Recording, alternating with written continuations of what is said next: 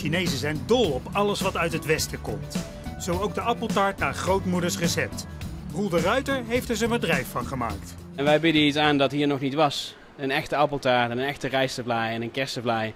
Precies zoals wij ze ook maken in Nederland. En uh, ja, mensen vinden het lekker, ze komen terug. Roel verkoopt nu sinds vijf jaar Hollandse taarten. Hij kreeg wel een cultuurclash toen hij begon. Niks is makkelijk, maar alles is mogelijk. Het is alleen niet zo heel erg transparant. Kijk, als je een bedrijf wil opzetten, dan ga je naar de Kamer van Koophandel en je krijgt een duidelijke lijst met wat de voorwaarden zijn. Die lijst is er hier niet. In Nederland vinden ze dat alles moet kunnen. Dat werkt zo niet in China. Lastig voor Nederlanders. En dan gaat weer een paar stukjes taart.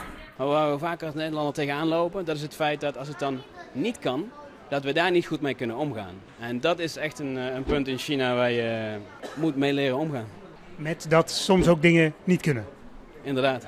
Dat je soms tegen een muur loopt en dat je eromheen moet lopen. Toch vindt hij ondernemen hier helemaal het einde. Ik ben nu een, bijna tien jaar weg uit Nederland. Als ik in Europa en steden ben, dan zie ik gewoon weinig echt ontwikkeling. Terwijl ik hier gewoon in tien jaar tijd een stad heb zien ontstaan zoals ik dat nergens anders me ooit had kunnen voorstellen. Er zijn gebouwen die worden op een jaar tijd omhoog uh, voor één keer opgebouwd en binnen een jaar staat er van niks dan er 30 verdiepingen. En op al die verdiepingen wonen en werken potentiële appeltaarteters.